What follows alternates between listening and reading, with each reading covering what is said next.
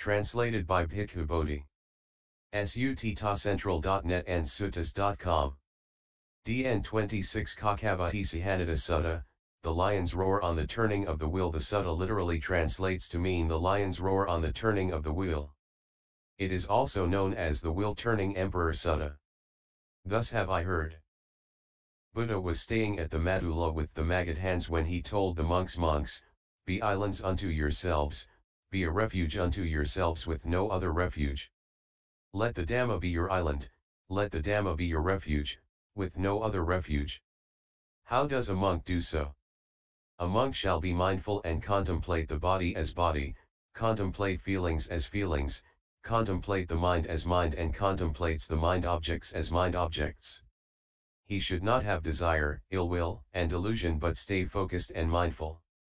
Monks, keep to your own preserves. To your ancestral haunts. If you do so, then Mara, the evil one, will find no lodgment, no foothold. It is just by the building up of wholesome states that this merit increases. In the absence of temptations, good states and merit increase. Then Buddha went on to tell them an illustration of a wheel-turning monarch called Dalhanemi. He had seven treasures, the wheel treasure, the horse treasure, the elephant treasure, the woman treasure, the jewel treasure, the counselor treasure and the householder treasure. He was a righteous and successful ruler. The monarch told his man should the sacred wheel treasure slip from its position, he should report this matter to him. After many hundreds and thousands of years, this happened. Then King Dalhanemi told his crown prince that it was time for him to renounce the world and go into the homelessness life and instructed the crown prince to do so in future should the wheel treasure slipped in future. Seven days after the king renounced, the sacred wheel treasure disappeared. Then the king told his crown prince that he must become an Aryan. wheel-turner for the wheel treasure to reappear. He can do so by learning the Dhamma, practice the Dhamma and seek refuge in the Dhamma, let the Dhamma be your island, let the Dhamma be your refuge, with no other refuge. He told him to guard and protect his countrymen and animals, let no crime prevail and to help those in poverty. He also told him to consult the ascetics on what is wholesome and what is unwholesome, what to follow and what not to follow and follow the path to end of suffering. That he told his son is the duty of an Aryan wheel-turning monarch. The newly crowned king followed the wheel treasure wherever it turned and conquer many lands with Dhamma. He instructed his people on the five precepts, not to steal, not to tell lies, not to kill, not to commit sexual misconduct and not to take intoxicants. The following seven kings followed the instructions of a wheel-turning monarch and ruled with Dhamma. All the seven kings ruled over a large area of lands and people were happy as they followed the path of Aryan wheel-turning monarchs preceding themselves. The eighth king however did not follow the duties of a wheel-turning monarch and ruled according to his own ideas. Hence his country did not prosper and his countrymen suffered. He then seek advice from his ministers, after which he established guard and protection to his country but he did not help the poor hence poverty rife. Because of poverty, theft rises as people start to take what was not given. After questioning the man who steal, the king gave him property in the hope to stop his stealing when he gets out from poverty. He also gave property to a second man, who stole thinking if that will get them out of poverty and reduce thefts. However when his people heard that the king will give away poverty, they follow suit. This made the king think if he were to give everybody poverty, theft will increase as people will steal to get property from him so he decided to end the life of people who steal instead to punish them for their crimes. The king instructed the capital penalty and killed the criminal out in the capital streets. This horrendous act had a vicious effect as the villagers followed the king's footsteps and used weapons to conduct more crimes like thefts and killing. Hence from not solving the poverty situation, the problem doubled up, social decline began as crimes like thefts, telling lies, harsh speech slash slander slash gossip, adultery, lack of respect for parents slash siblings slash ascetics and murders increase. The Sutta continued to say that due to breaking the five precepts, social decline rapidly, there's rampant increase in crime rates, thus as a result the beauty and lifespan decreases gradually from 80,000 to 10 years.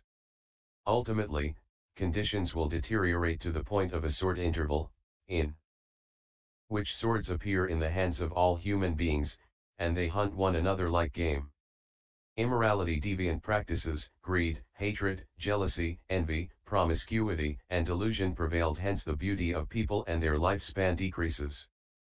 The Sutta continues to emphasis on morality, sila, it mentioned that despite the social decline there are beings who are good and who continue to do wholesome actions and they observe the five precepts. By doing so, their lifespan increase and they maintain beauty.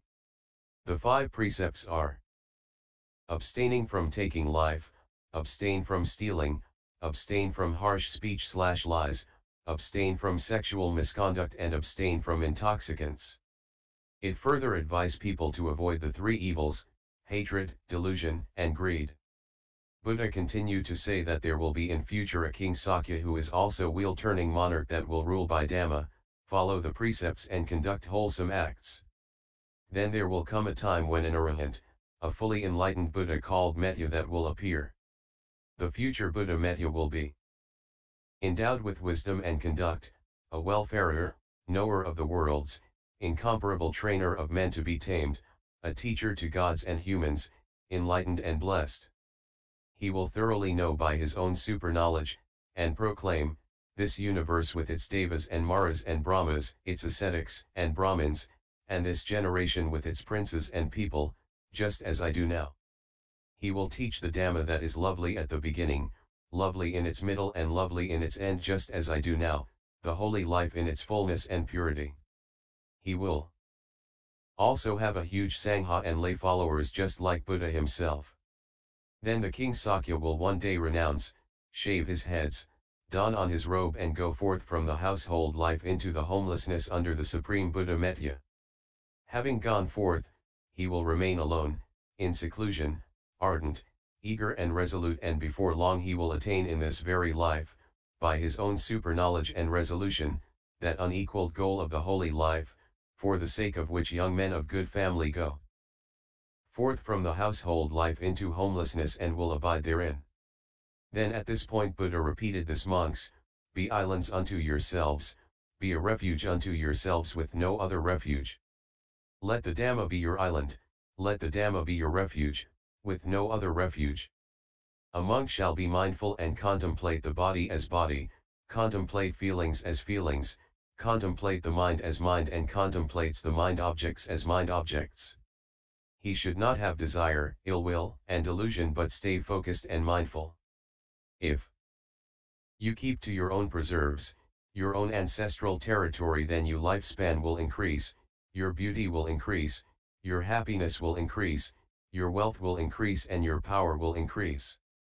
Buddha, what is the length of lifespan for a monk? If a monk follows the Noble Eightfold, develops four roads of power which are samadhi, concentration, of intention, concentration of energy, concentration of consciousness and concentration of investigation accompanied by effort of will then he will live up to a century.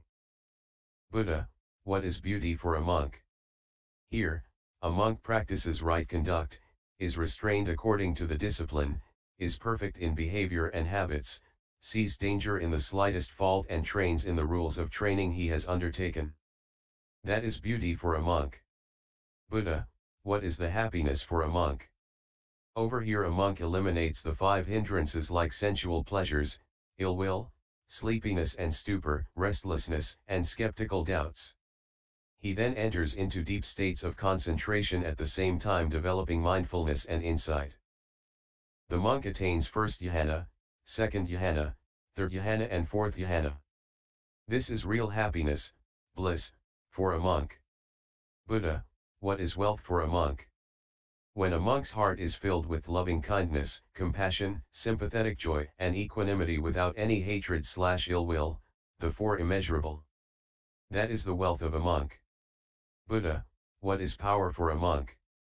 When a monk destroys the corruptions or taints of craving namely craving of sensual pleasures, craving for existence and craving for non-existence, he is liberated from suffering and attain wisdom by his own super knowledge and realization.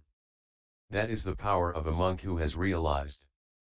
The Buddha then concluded with the statement that merit increases with the accumulation of wholesome actions meaning to observe the five precepts and to have sila, morality.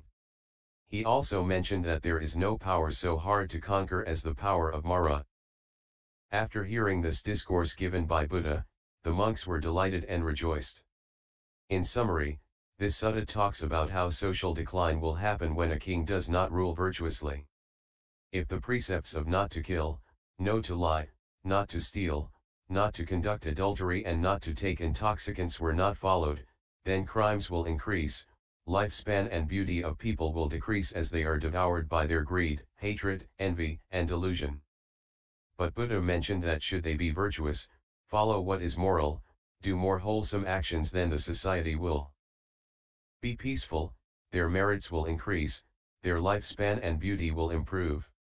At the end of Sutta, Buddha emphasized to the monks to let Dhamma be their refuge and repeated to them the teachings and path to enlightenment through Sila, morality, samadhi, concentration slash meditation, and panna, wisdom slash insight.